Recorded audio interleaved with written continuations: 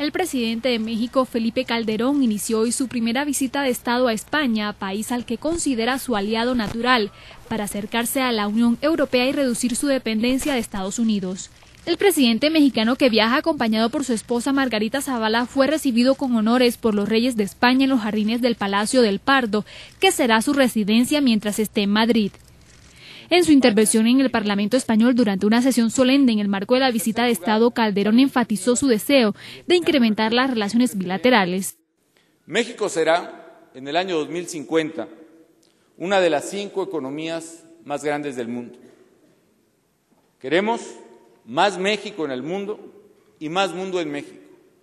Queremos, desde luego, más México en España y también más España en México. Recordó que tras Estados Unidos, España es el segundo inversor en México y puso énfasis en señalar que en 2050 su país será una de las cinco principales economías del mundo.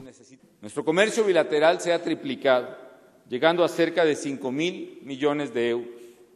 Podemos y debemos aprovechar oportunidades de comercio y de inversión entre España y entre México.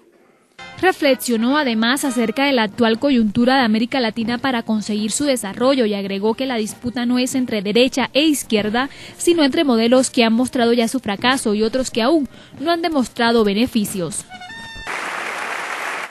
Y de esta forma, con fuertes aplausos por los parlamentarios españoles, Calderón fue despedido.